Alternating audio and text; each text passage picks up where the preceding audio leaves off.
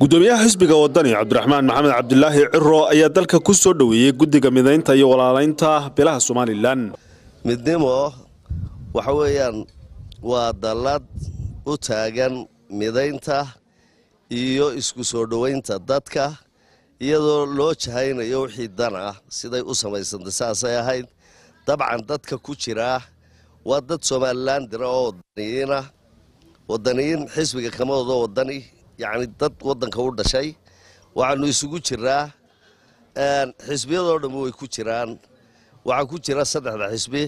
Waxaa ku jira dad indibendana oo aan xisbiba ku jirin. Waxaanu ka midaysannahay waxaanu ka mid nahay kolley anaguna dadka xisbiyada ka mid ah. Heshiis baanu ku nahay in ay kala soocnaadaan. Markaanu ka hadlayno midnimo iyo danta wixii kale halkaasaanu soo dhiganaa heshiis baanu ku nahay iyo siyaasadii waliba wuxuu aaminsanaayo gurub weliba waxaanu ka midaysannahay sidaanu ku shaqaynay ee dhulka qaar laga arkay dhacaankeeda. Midaynta iyo isfahamsiinta iyo walaalaynta iyo isku xidhka in laga soo dhiso maxaa la yidhahdaa bayska dadka. Taas baanu haddii aan la yidhaahdo shaqadayadu tahay sidaa aan soo sheegay dee xisbiyo iyo dad independent waa bay nagu jiraan runtii. Marka anagu kolley wadanina waa nahay wadanigii dee qurbaha joogay baanu nahay. Haddare waxaanu u nimi inaannu xisbiga kor u qaadno oo aanu aaminsannahay insha allahu tacaala inuu ku guulaysto doorashada.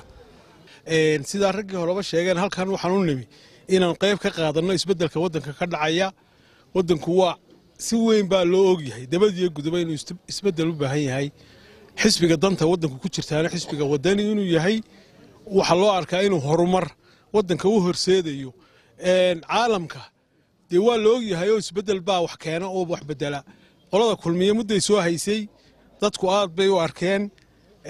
Waxaa loo baahan yahay in arrinkaa maanta la siiyo codka xisbiga wadani si waddanka isbeddel dhabi uu uga dhaco oo aynu horumar ugu tallaabsanno. Ilaahayna waxaan ka baryayaa in doorashada soo socota mid khayr qabta inooga dhigo mid xalaalah